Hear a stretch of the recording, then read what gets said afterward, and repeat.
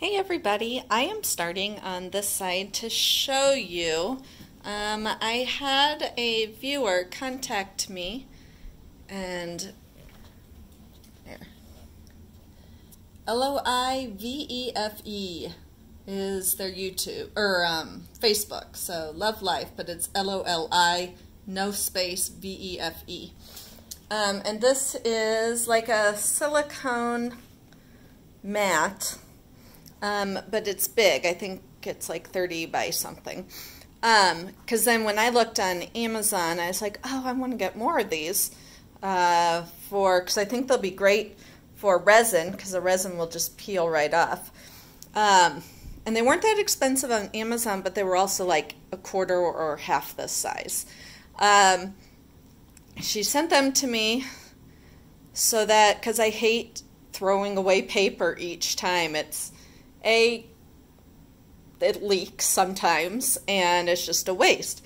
So this, um, she's like, you can kind of fold it up and pour out the paint if there's tons of it. Otherwise, you can wipe it off or let it dry and peel it and make skins. So you can see it almost covers my entire pouring tray. So and I have an email in with her to find out what she will be selling like this particular one for. All right, now back to some pieces. This one is absolutely perfect. I love it, love it, love it so much. Let's get it into the light. Actually, when I put it into light, it looked worse for you. I love this one so much. That one will be resined because it is on wood. And this one, oh my gosh, this was the one that was just kind of practice. Oops. And I used the silicone. And it's like I can't stop looking at this part. It is so pretty. I love the cells. I love everything about it, even though there is zero negative space. Oops, that's my finger. It is just so cool. So, so cool. And then this one is fairly ugly. Um, it dried real dark like I thought it would. It kind of cracked. Oh, there you can see it because it's real thick. Uh, granted, this was the third, at least third pour on this piece of MDF. These are way cool. Like those are way cool, but as an entirety, I don't know. It um, it, it's weird. Yeah, it's just weird. Not into it. So, whoops. My sort of goal today is to create um, some cells like that, but with negative space. So we will see if that can be accomplished.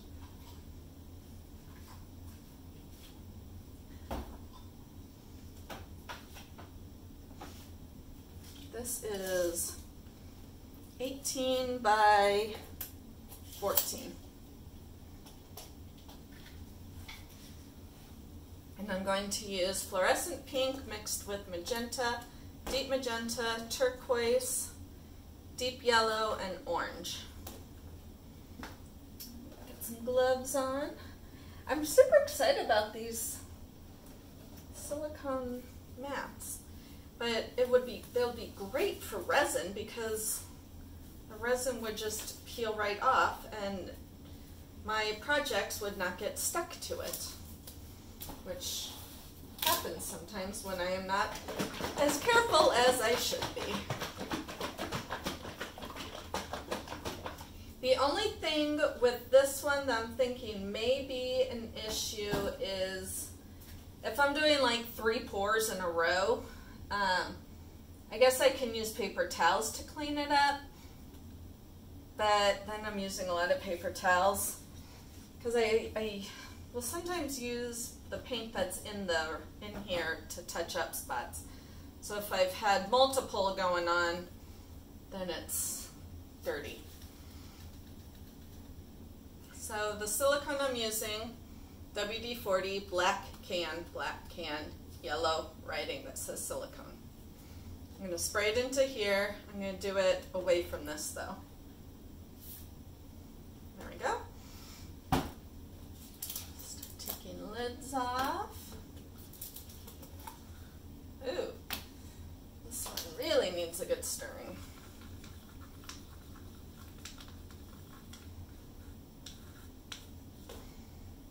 Stir this one up as well.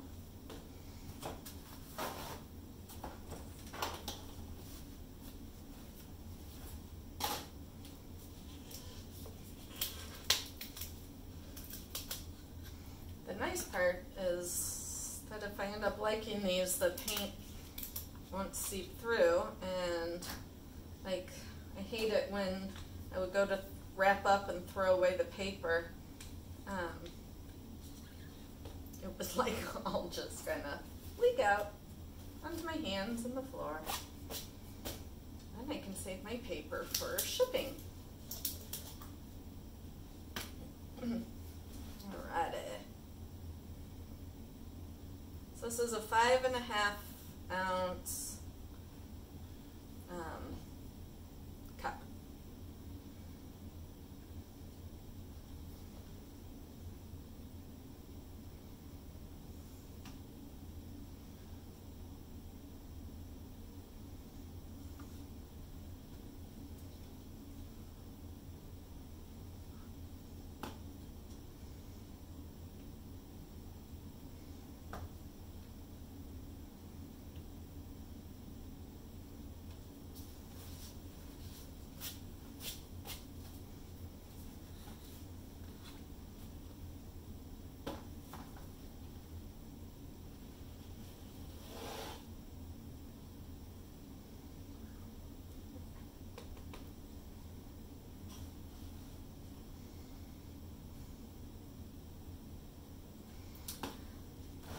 Whoops.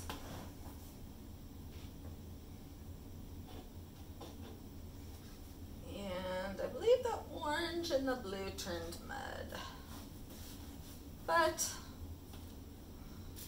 I added white to that other one.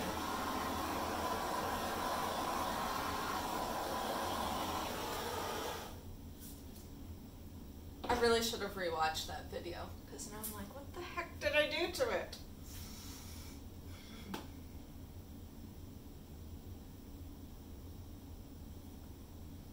Okay, added white.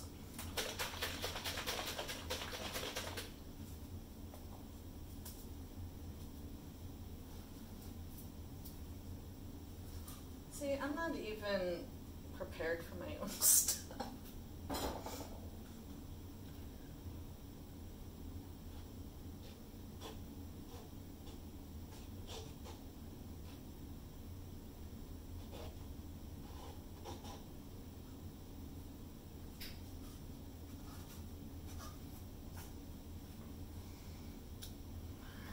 so I need another color.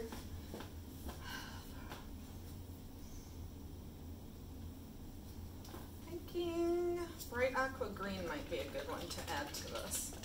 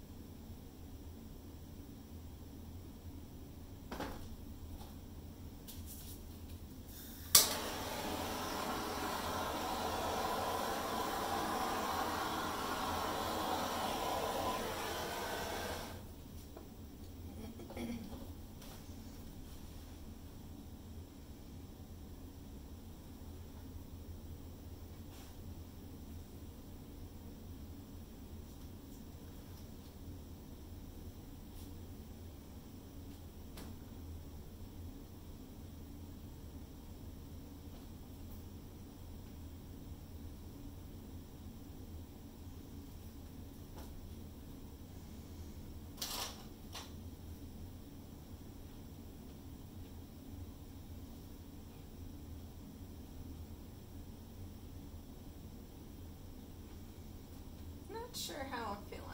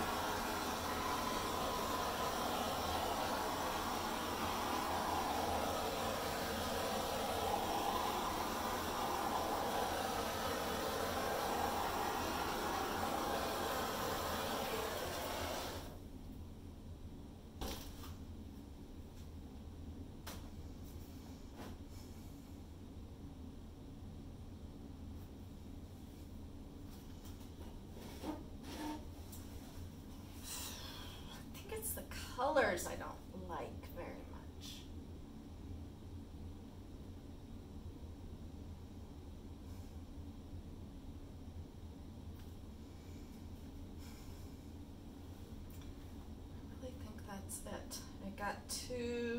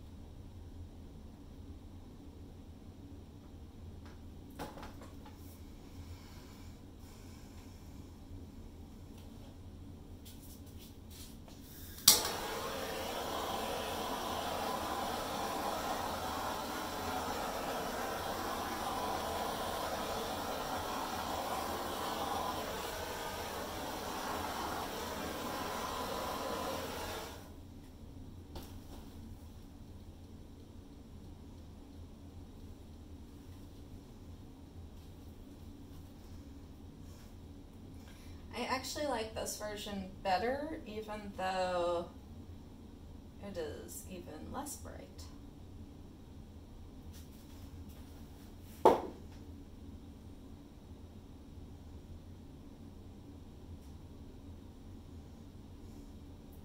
But it's still looks like mud.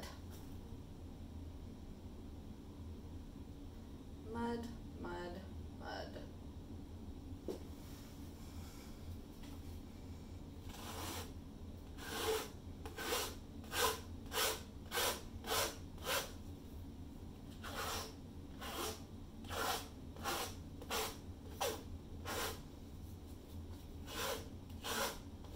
How pretty the canvas is underneath though.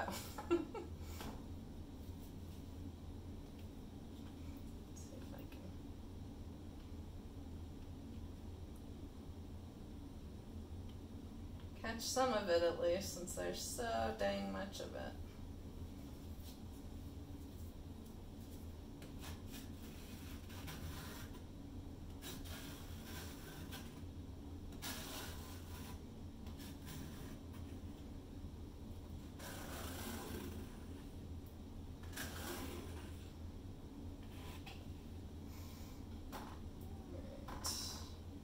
Right. I'll just set that aside. Well, I suppose we'll really get to see if uh, the silicone mat can hold up to a lot of paint.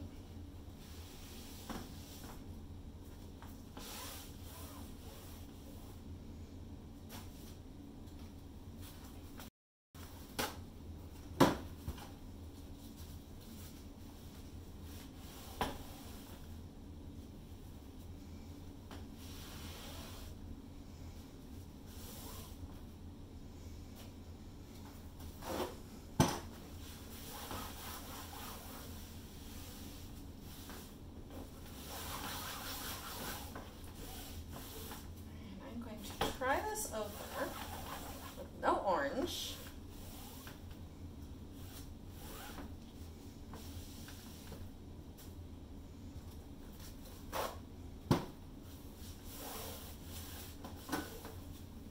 Oh my when I think I have it clean, I come up with more.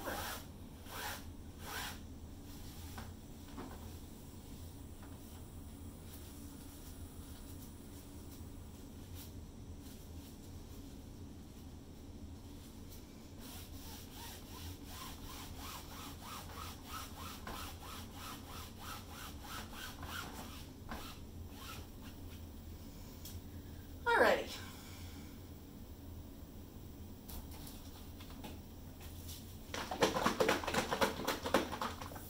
Let's flood this baby with white.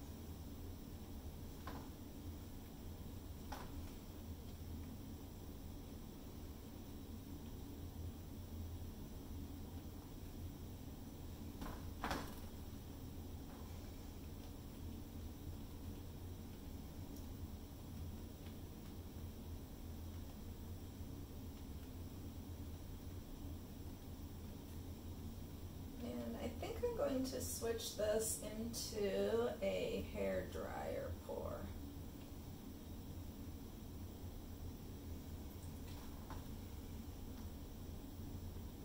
Ugh, I am switching gloves. These have like icky paint on them.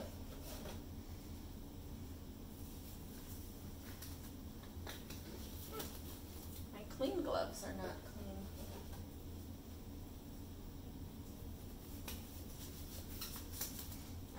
Getting away, putting away the orange so that I don't feel tempted to use it.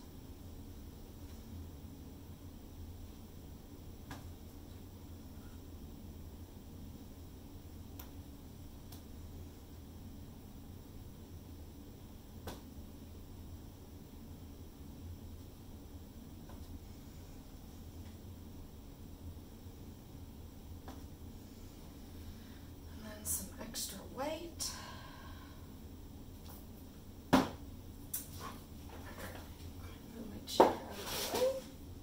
like to stand when I do this.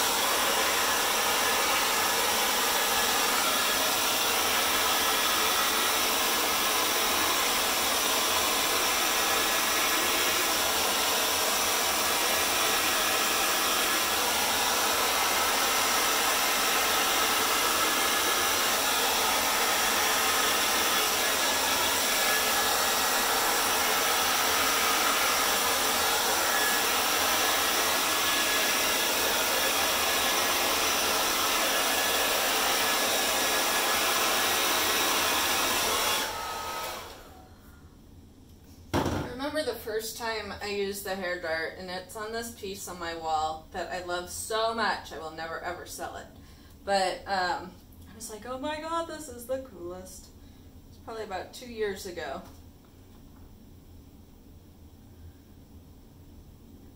There's still an awful lot of paint on there.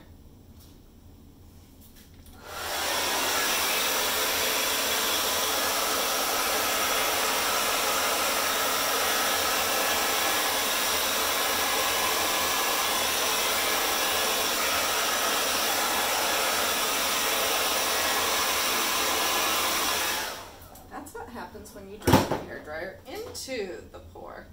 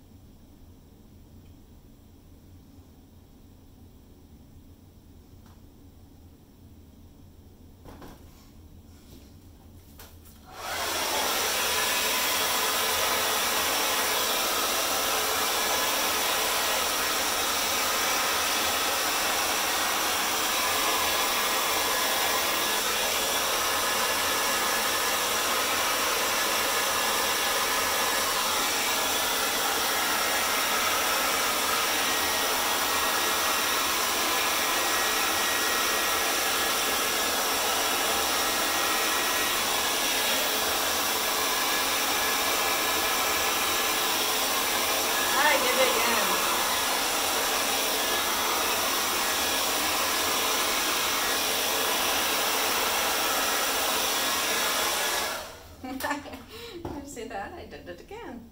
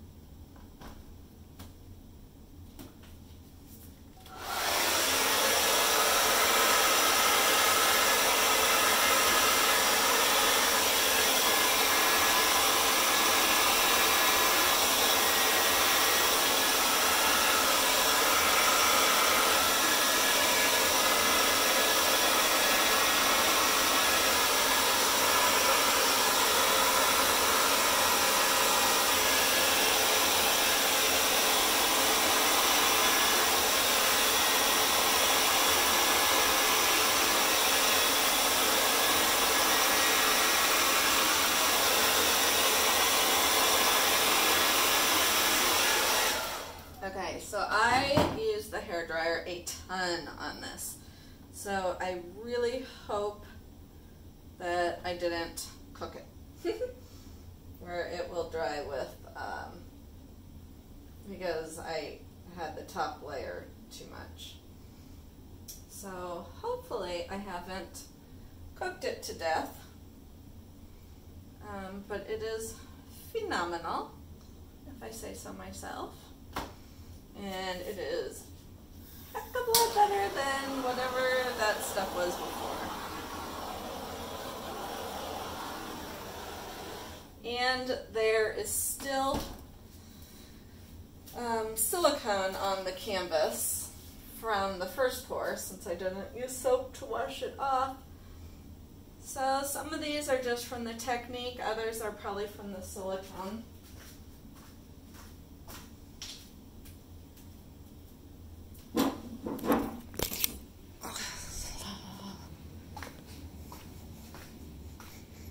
Oh, it is so pretty.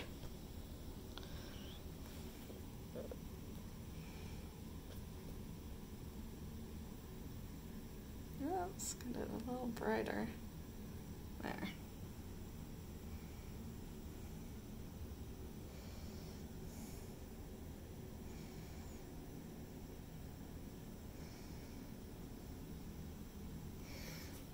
So there it is. Thank you so much for watching, and I will catch you next time. Bye.